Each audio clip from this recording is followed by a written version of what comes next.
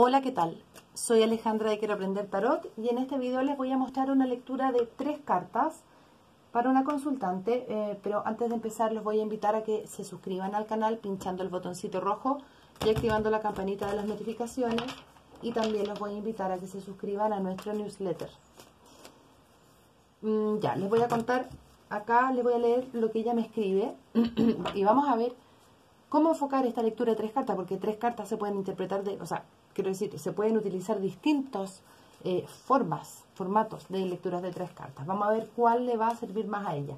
Ella me cuenta, me está yendo bien en el negocio que empecé, pero necesito aumentar mi cartera de clientes.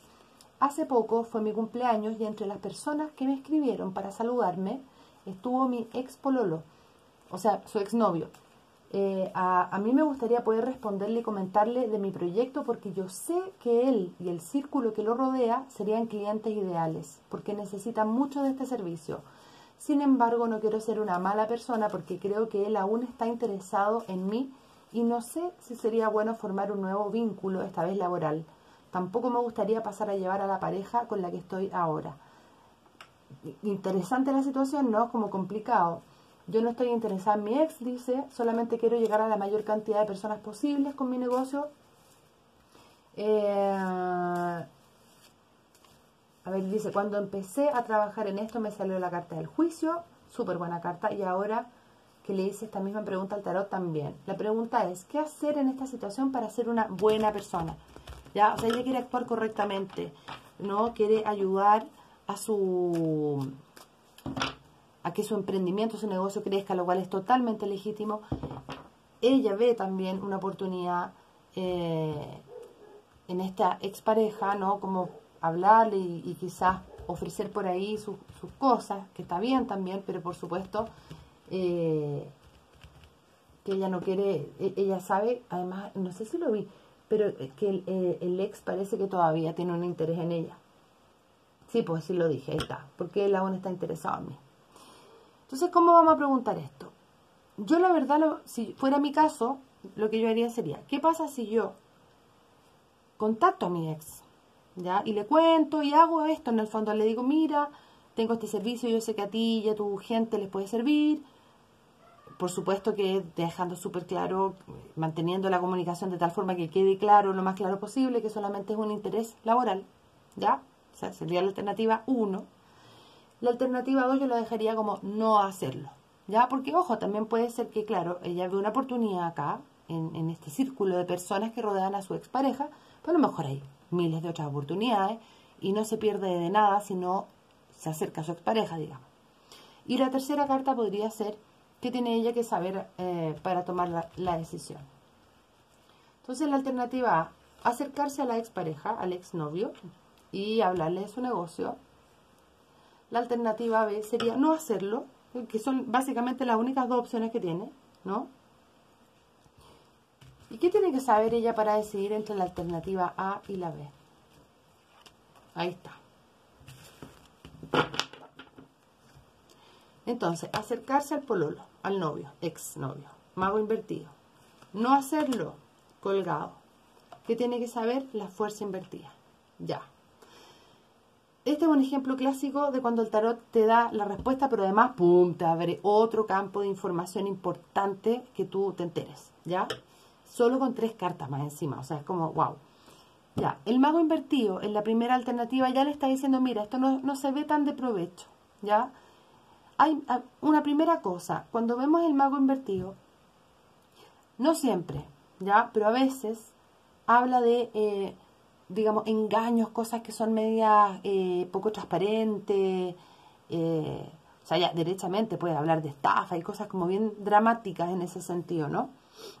Entonces, no es que, o por supuesto, no es que ella vaya para nada a estafarlo a él, ni que la vayan a estafar a ella, no es, no es eso lo que yo capto acá, sino que más bien es, como que me queda esa sensación de lo no transparente, de lo no, no, de lo no claro, de lo que no es limpio, de lo que no es impecable, esa es la palabra, de lo no impecable. Impecable entendido en el sentido de, eh, del uso correcto de la energía, digamos, ¿ya? No de una cuestión moral, no, sino que sencillamente una cosa que uno dice, esto, esto podría funcionar, pero, pero ah, como que no es un camino limpio, no es un camino que me deje 100% tranquila finalmente, ¿no? Ya, eso veo yo ahí. El mago invertido de todas formas le está diciendo, mira, si tú crees que por ahí logras en el fondo eh, un, gran resultado o se te abre una gran puerta, pues no, capaz que incluso hasta tu ex no te dé mucha atención al respecto, no te ayude en nada, ya más bien eso. Capaz que la gente que tú, no sé, es que tú ves que, que podría interesarse tanto, a lo mejor en verdad no pueden pagarlo, o sea, o miles de otras cosas. Pero es como que por ahí la energía no fluye bien, ¿ya? No, no se manifiesta nada de, de valor. La alternativa B, claro, ahí nos sorprendemos con un colgado. Nos sorprendemos porque, claro, querríamos ver ahí una cosa como, no sé, el sol, la rueda de la fortuna, por último un siete de oros, que es como un crecimiento de algo, ¿no? Pero bueno, vemos el colgado. El colgado, ojo, no es una mala carta. Lo que pasa es que a mí me sorprende porque me dice, ah, espérate. Si tú no lo haces, ok, estás renunciando o, digamos no tomando la, esa posibilidad de poner tu negocio o de, hacer promoción por ese lado, entonces te quedarías con todas las demás opciones que tú tengas. Y frente a eso, frente a esas muchas opciones que tú tendrás aparte de esta, aparece ahí esto como en un aparente estancamiento, ¿ya? Entonces uno dice como, pero ¿cómo entonces? Si el mago no, es ni, por anga ni por manga. No, pero espérate. El colgado es una espera, sí, es una espera. Eh, pero es una espera que siempre hay que entender que no es infructuosa, no es, a ver, el colgado no es lo mismo que la muerte invertida. La muerte invertida es una cuestión que se eterniza, eterniza, no cambia, no cambia y que termina, es un estancamiento con todas sus letras. No avanza para ningún lado, no, no trae nada nuevo, no hay aprendizaje, no hay renovación, o sea, es como todo mal, ¿no? El colgado se siente, se experimenta como algo detenido, como algo que Mm, parece que no avanza, parece que no, que no da fruto, parece que no se resuelve nunca, como que, mm, y me siento además como que no hay nada que yo pueda hacer, ¿no? Esto es un contexto como que de alguna u otra forma es como que me, deja colgando, ¿no? O sea, el mismo tema de la pandemia, ¿no? Como con todo lo que produce, puede producir una detención. Pero la verdad es que lo que está ocurriendo no es una detención, es o sea, quiero decir, es una detención, pero es una detención que está trayendo eh, para todos la posibilidad de ver las cosas que tengan que ver de una forma completamente distinta. El colgado es un iniciado. O sea, no es, no es cualquier cosa.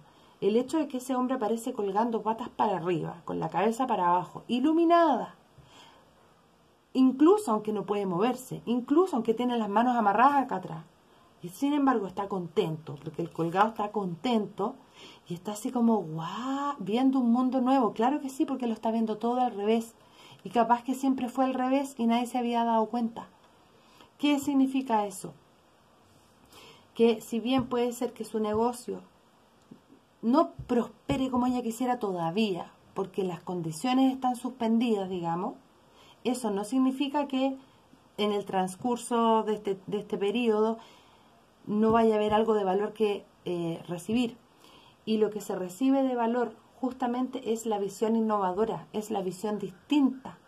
¿Ya? O sea, es como, ojo, atenta que ahora las situaciones tan distintas van a aparecer nuevas necesidades, nuevas formas de hacer las cosas y los que mejor, a los que mejor les va a ir van a ser a los visionarios, que fueron capaces de anticiparse o de, ya captar las señales de cambio porque ven las cosas desde un ángulo completamente diferente. Y eso es el colgado.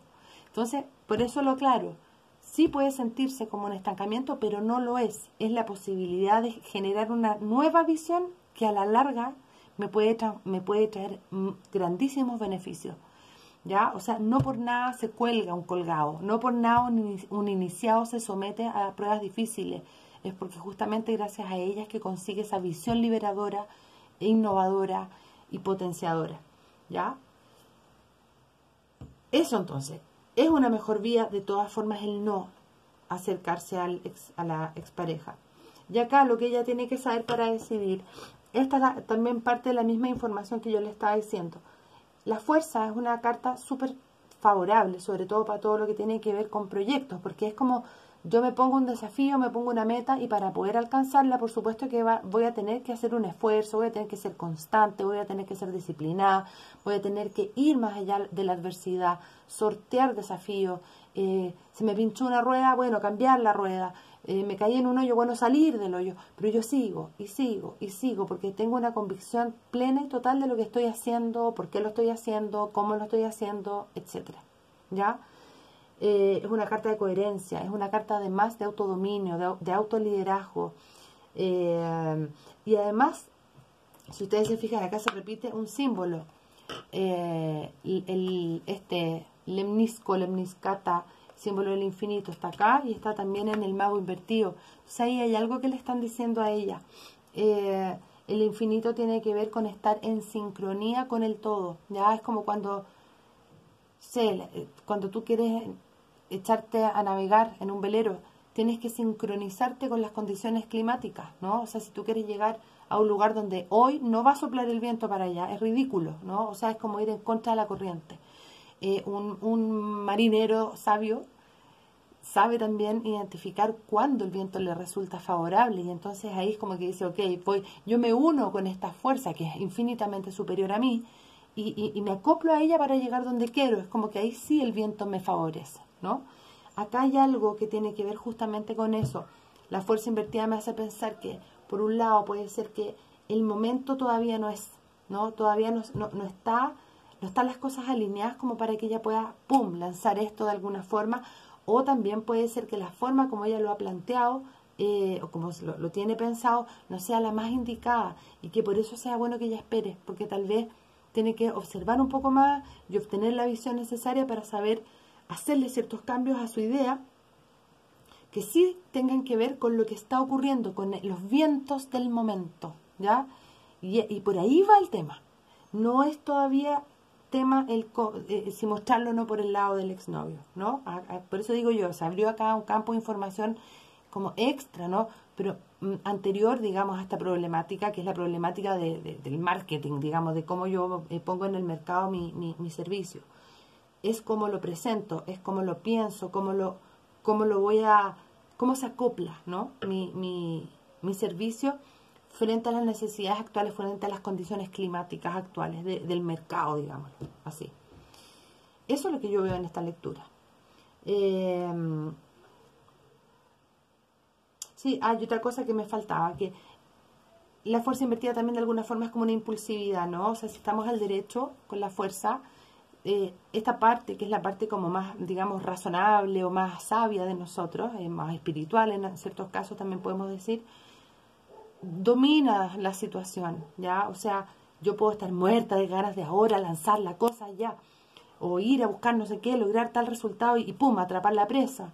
Pero acá esta parte me dice, espérate, o sea, sí, vamos a atrapar la presa, pero mira, fíjate que no sacas nada apurándote, no, no, no es ahora, no es hoy, tienen que ser en unos días más, cuando tales y tales condiciones se den. Y ella sí tiene la capacidad de contenerse en ese impulso, ¿no? Cuando estamos al derecho es una manera, no es reprimirme, es contenerme y autogobernarme. Eh, controlar esa impulsividad o, controlar también las, las decisiones que provienen del miedo, ¿no? Eh, y tener una visión más estratégica. Invertida les puede estar diciendo, mira, te estás precipitando, eh, o estás como queriendo solucionar ya una cosa que en realidad requiere quizás de un poco más de tiempo, de más reflexión o de otras condiciones o qué sé yo, ya, pero que no te gane la impulsividad, eso es importante, hay que saber justamente avanzar de una forma integral, ya, atendiendo a todas las necesidades, pero también sin sacrificar la integridad y la integralidad de lo que vas a hacer y de ti misma, ya. Eso, ahí sí que creo que lo dije todo lo que se me ocurra. Bueno, los invito a que dejen también ustedes sus comentarios acá abajito, eh, de acá abajo del video. Agradecerle mucho a mi consultante por el permiso para publicar su lectura en el canal.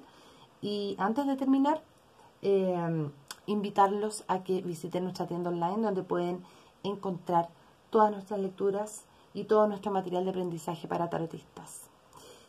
Eso, espero que les haya gustado y nos vemos en un próximo video. Chao, chao.